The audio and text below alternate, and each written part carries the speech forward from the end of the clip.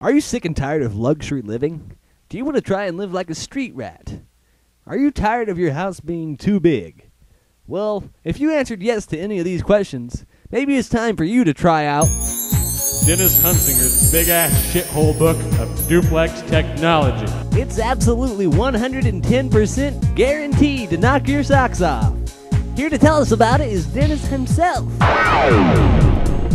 Thanks, Jerry. This is Dennis Huntsinger here, telling you the very first and most important step in making a duplex is going to furrow for furrowing. I prefer furrow. Is to get uh, a fucking shitty ass, big ass pile of wood. And uh, before you start, I would like to say that you always, I, I would prefer this. You don't need this, but you need a gay son at your side. You heard it here first, folks. There's only three easy steps to building the duplex home of your dreams. Step one. Build the fucking duplex. Step two.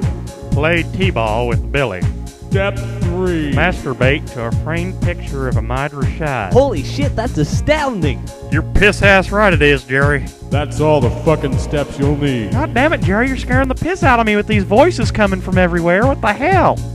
I'm really sorry about that pissant fucker on the microphone, Dennis. Fuck you, you shit-faced cockmaster.